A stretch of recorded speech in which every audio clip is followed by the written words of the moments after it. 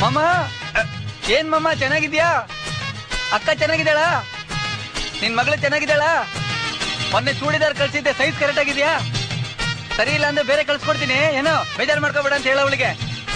ದೀಪಾವಳಿಗೆ ಮನೆಗೆ ಬರ್ತೀನಿ ಪಿಕ್ಚರ್ ಕರ್ಕೊಂಡು ಹೋಗ್ತೀನಿ ಅವಳನ್ನ, ಎಡಕಲ್ಲ ಗುಡ್ಡದ ಮೇಲೆ. ಬರ್ಲಾ ಮಾಮ? ಅವ್ನ ಎಬ್ಸೋ ಅಂತ ತಕ್ಷಣ ಎಬ್ಸ್ಬಿಡದೆ ನನ್ನ